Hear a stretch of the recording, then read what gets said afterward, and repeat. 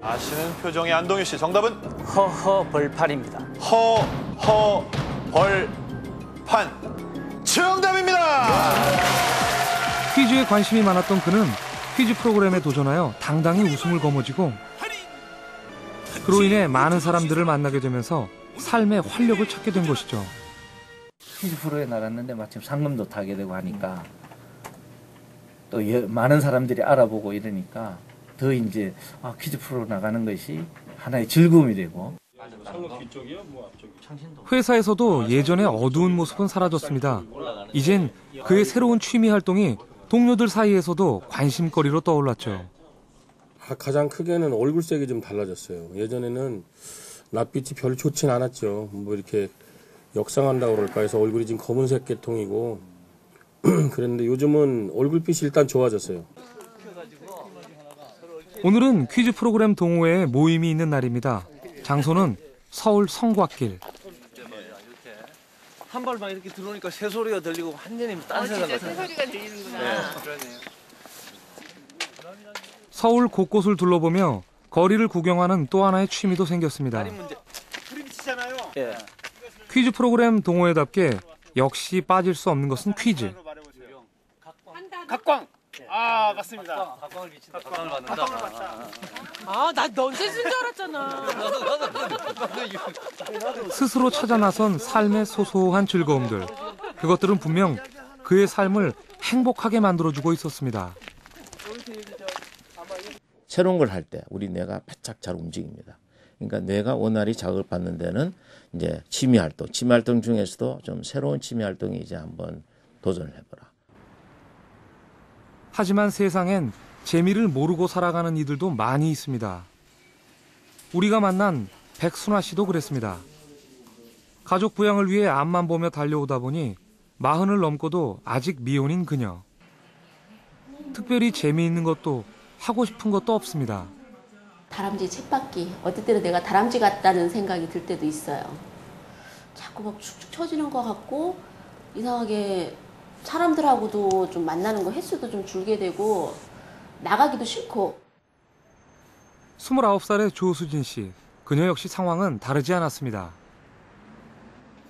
이렇게 새로운 걸 시도할 그런 용기도 없고 그냥 진짜 하루하루 버티는 것 같은 기분이에요. 먼저 두 사람의 상태를 알아보기로 했습니다. 설문조사와 상담, 뇌파 검사 등을 통해 나타난 그녀들의 상태는 조금 심각해 보였습니다.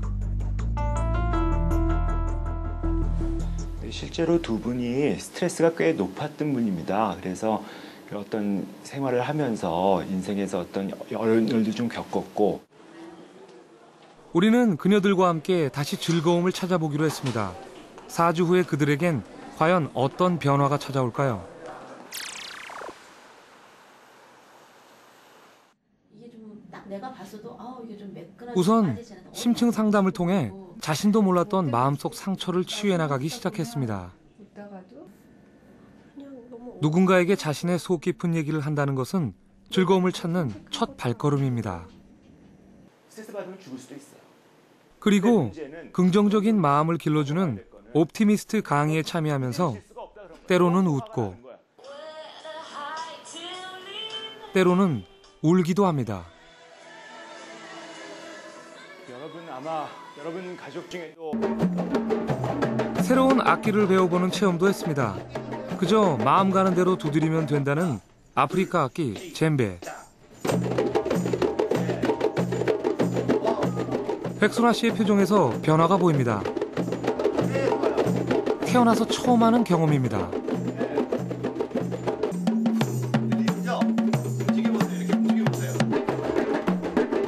리듬에 몸을 맡기고 즐거움을 찾습니다.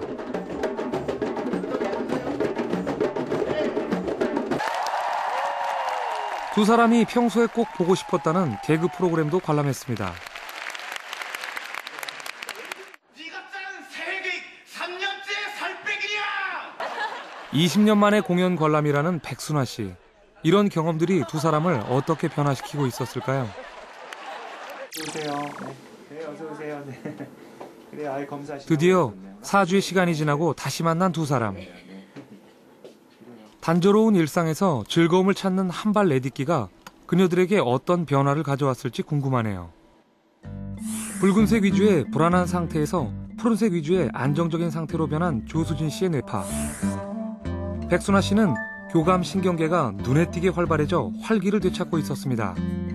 전혀 인생의 재미를 찾지 못하고 즐거움이 없었던 분들이 아 내가 뭔가 좀 해봐야 되겠다고 하는 에너지를 찾은 것이 가장 큰 변화라고 할 수 있겠고요. 그녀들은 즐거움의 열쇠를 찾은 것일까요? 그렇게 한번 울고 나고 하니까 웃고 또 그 다음 주에는 가가지고 웃고 하니까 오히려 그게 저한테는 좀 많이 도움이 되더라고요. 좀 쌓였던 게 좀 풀리고. 그러니까 즐겁게 사는 게 별거 아니구나. 인터넷에 사연 하나 올린 건데 제 생활, 생각, 마음가짐 이런 게 이렇게 많이 바뀔지 몰랐거든요. 4주 전에 뭐 해보고 싶은 거 있냐 똑같은 질문을 받았을 때 좀 대답을 못 했거든요. 근데 지금은 하고 싶은 게 너무 많아져가지고 흥겨운 시골 무도회. 온화한 미소를 띠면서 피아노를 연주하는 소녀들. 행복을 그리는 프랑스의 화가 르누아르의 작품인데요. 그는 평생 동안 비극적인 주제를 단 한 점도 그리지 않은 화가로 잘 알려져 있습니다. 하지만 그가 류마티스 관절염으로 극심한 병마와 싸웠다는 걸 알고 있는 사람은 그리 많지 않습니다. 뒤틀리는 손 때문에 손가락에 붓을 묶고 그림을 그릴 정도였다고 하는데요. 그런 고통 속에서도 그가 행복을 그릴 수 있었던 힘은 무엇이었을까요? 이 그림 그리는 것이 즐겁지 않으면 그릴 이유가 없다. 평소 르누아르가 즐겨 하던 말이라고 합니다. 즐거움. 그것이 바로 그의 고통을 잊게 해준 묘약이 아니었을까요? 지난 5월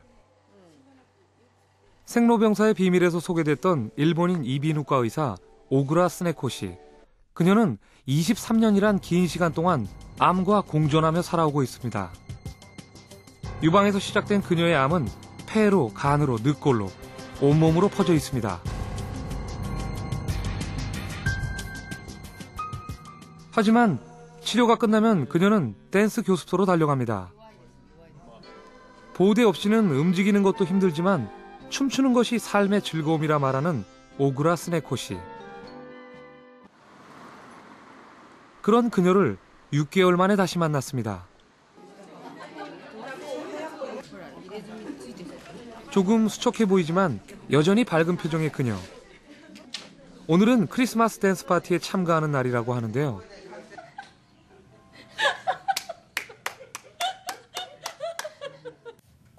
올해는 암의 상태가 좋지 않아서 댄스 대회 나가지 못할 거라고 생각했어요.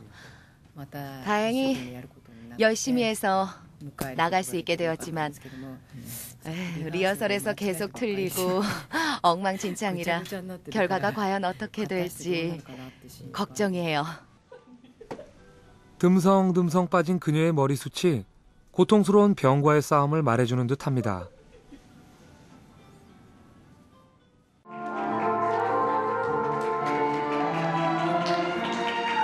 참가팀들의 화려한 춤이 이어지고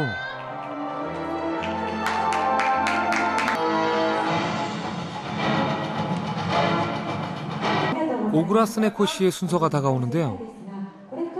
무대 뒤에 그녀가 유난히 초조해 보입니다. 다리에 마비 증상이 있어서 지금도 감각이 없어요. 그래서 선생님의 발을 밟는다거나 넘어지게 될까봐 무서운 게 많죠. 그렇지만 저는 춤을 계속 추고 싶어요. 드디어 그녀가 무대에 올랐습니다.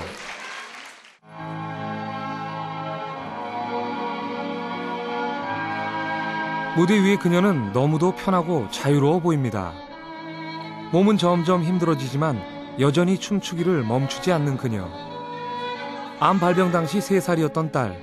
20살이 될 때까지만 살게 해달라고 간절히 빌었는데 어느덧 25살이 되었습니다.